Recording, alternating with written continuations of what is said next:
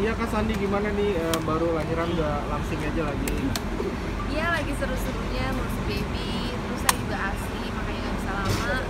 Ya pokoknya lagi menikmati enjoying new mom aja.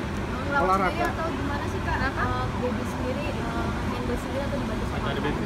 Saya ada babysitter tapi hanya sebagai helper aja, tapi saya segala sesuatunya pengen handle sendiri. Kecuali benar-benar mentok, saya pengen apa ya benar-benar menikmati sebisa mungkin saya ngurus, suami juga ikutan kalau udah pulang kantor. Ya, suster benar-benar hanya membantu sebatas misalkan bawain barang atau tolong kita bantu bawa apa gitu. Mas sendiri olahraga tetap. Untuk saat ini karena saya sester harus break dulu dua bulan ya, karena kan benar-benar harus kering sempurna. Tapi Aktivitas di luar gimana, Bro? aktivitas mungkin eh, kalau film saya masih ada beberapa bulan break dulu karena memang harus kembali lagi harus selesai beberapa kontrak eh, film.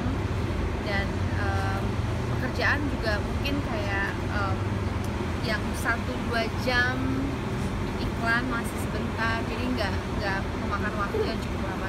Nggak mungkin juga kayak stripping sinetron saya rasa udah nggak wise untuk saat ini. Emang suami nggak apa nggak dibolehin dulu apa gimana yang dari kamu? Eh, enggak sih kalau suami bukan nggak ngebolehin memang memang saya kan pengen asi dulu ya. Jadi maksudnya memang mau menikmati masa-masa kebersamaan sama baby Gimana Sandi rasa syukurnya ini banyak artis yang menunggu kehamilan juga termasuk Yanti dan lain-lain.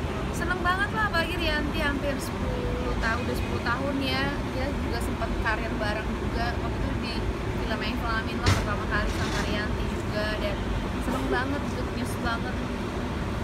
Tapi hal yang paling berbeda apa sih saat dulu yang kondisinya masih apa namanya belum anak dan sekarang? Apa yang membedakan paling paling berasa banget? Membedakan sekarang rasa, rasa tanggung jawab ya. Terus saya sama suami sekarang udah nggak berdua.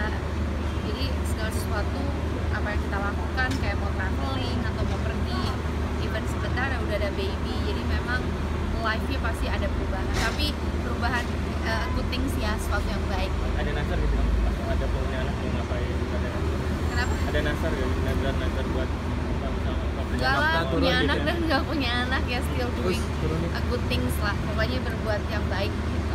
Oke. dok, jadi lebih uh, termasuk mama yang pro- uh, perfeksionis nggak sih atau uh, sekarang ada sendiri? semua Kalau saya ya pastinya tergantung situasi dan kondisi ya. Saya nggak pokoknya segala sesuatu yang pastinya perfeksionis untuk sesuatu yang baik, tapi juga nggak mau segala sesuatunya berlebihan. Jadi yang yang cukup aja. Menanggapi corona, Kak lagi? Santi suami nggak boleh keluar keluar negeri dulu ya.